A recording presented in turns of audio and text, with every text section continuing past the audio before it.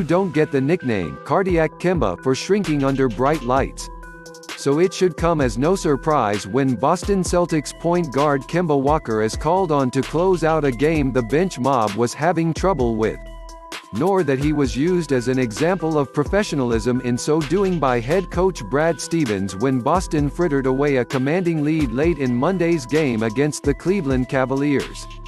Forced off the bench and back into action after likely thinking his night was over, the UConn product didn't bat an eye, sinking three consecutive threes to rapidly ice the game for good. If you want to be special, then model after Kemba, said Stevens via the Boston Herald's Steve Bulpett. because Kemba sits over there, thinks his night is done, gets put back in the game, drills three threes and ends it. I mean, special is not for everybody but that's just different. That's just always ready, always wanting to be called upon, always loving the play. He's not untying his shoes, he's staying ready because he knows this game can change in a heartbeat. For his part, the Bronx native didn't mind coming back in, and was even thankful that the basketball gods were kind to him as he tried to tamp down a feisty Cavaliers outfit. Just as one of the leaders I feel like I have to stay engaged, explained the All-NBA floor general, alluding to that while there's a clearer hierarchy than last season, there's also more sharing of leadership duties, which has likely helped the chemistry driving the team's success. You just never know what to expect. This league, guys can score so fast and easy. You just never know when teams will come back, he added. Even, evidently, the lowly 5-15 Cavs. I just knew that Cleveland was feeling pretty good trying to make a run, noted Walker, conscious of the fact that while a young, comparatively talent-poor outfit, the Cavaliers also fought hard on a day-to-day -day basis.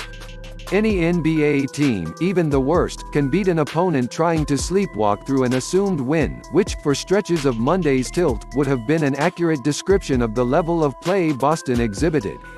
The Cavs are a team that's never going to quit. Regardless of their record they always play extremely hard, so for me I know why he put me back in, the Connecticut product added. When you're in those kinds of situations and teams are playing well, trying to make comebacks and I just knew why he put me back in.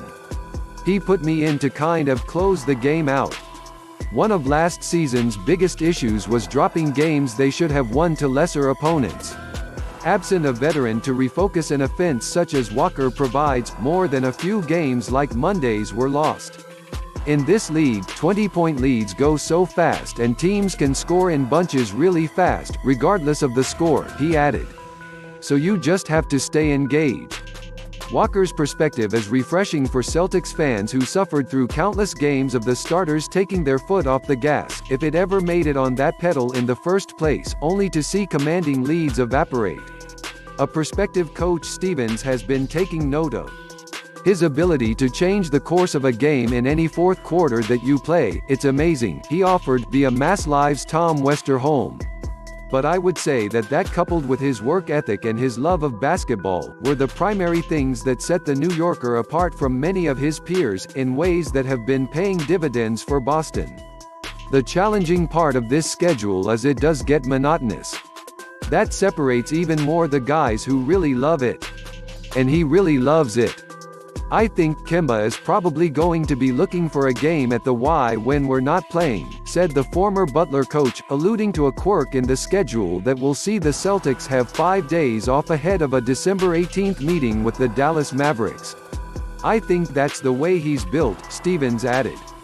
With seven rookies joining the team this season and one of the youngest rosters in the league, that's the sort of player you want providing an example of how to win the games you should, and have a shot at those you shouldn't.